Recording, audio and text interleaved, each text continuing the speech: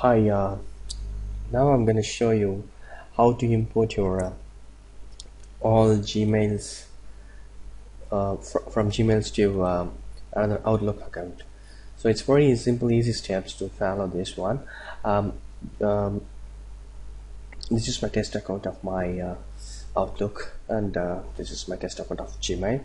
So just I'm gonna show you this uh, how uh, I'm gonna import here. Open the Outlook and get the login.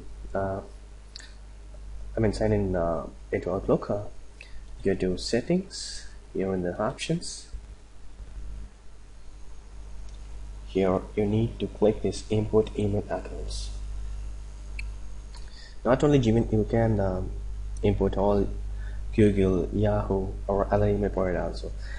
For example I'm showing Google. Just start this. Yeah I'm giving this uh, accept so it's really redirecting to outlook.com to import all the emails uh, from my gmails. See this you're showing it's importing the emails. See it's automatically it's getting the see everything whatever in the in this emails you can see here itself